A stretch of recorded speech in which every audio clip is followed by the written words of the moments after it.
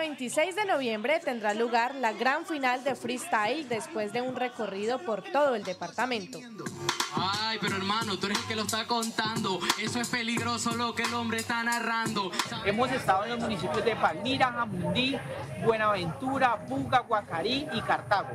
Tuluá también fue uno de los municipios donde la Secretaría hizo presencia, impactando más de 1.200 jóvenes en estas siete batallas.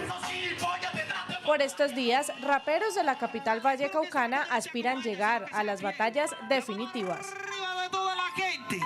Donde tendremos 11 fechas de la Liga Departamental de Freestyle, donde tendremos 10, los 10 ganadores irán a la final departamental que tendrá lugar en Cali el 26 de noviembre en el Coliseo de Hockey de la ciudad. A los ganadores de cada jornada se le brindará apoyo y Cali podría ser reconocida a nivel internacional.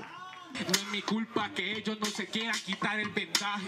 También tenemos una apuesta y es que Cali y el Valle del Cauca se conviertan en la capital mundial y latinoamericana del freestyle. Esta es la primera versión de la estrategia de inclusión que pretende generar espacios alternativos para los jóvenes.